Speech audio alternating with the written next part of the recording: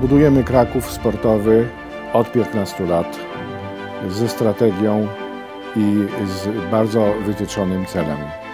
Y, Rozwój infrastruktury sportowej, budowa nowych obiektów, remonty y, pozwalają stworzyć infrastrukturę dla mieszkańców, przede wszystkim dla dzieci, młodzieży oraz dla zawodników czynnie uprawiających sport. Efekty są niesamowite.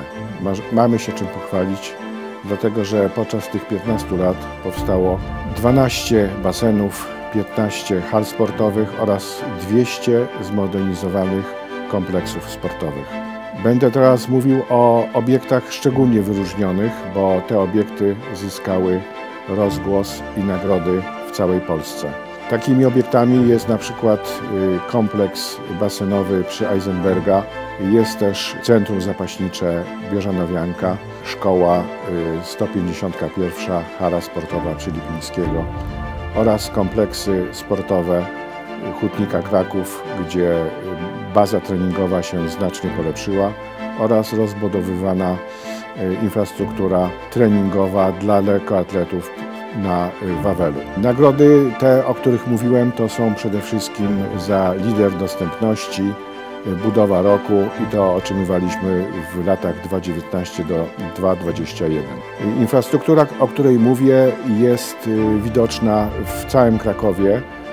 Jest rozłożona na wszystkich dzielnicach, co pozwala modernizować te obiekty bardzo systematycznie w całym Krakowie. Bardzo ważną rzeczą jest również to, że my jako Zarząd Infrastruktury Sportowej braliśmy czynny udział w y, organizacji trzecich Igrzysk Europejskich w Krakowie i w Małopolsce. Zarząd Infrastruktury Sportowej realizował trzy ważne inwestycje, mianowicie rozbudowę stadionu miejskiego imieniem Henryka Reymana w Krakowie, halę modernizowaną sportową dla niepełnosprawnych, klub sportowy Krakowia 1906 y, oraz tor kajakarstwa górskiego przy ulicy Kolnej.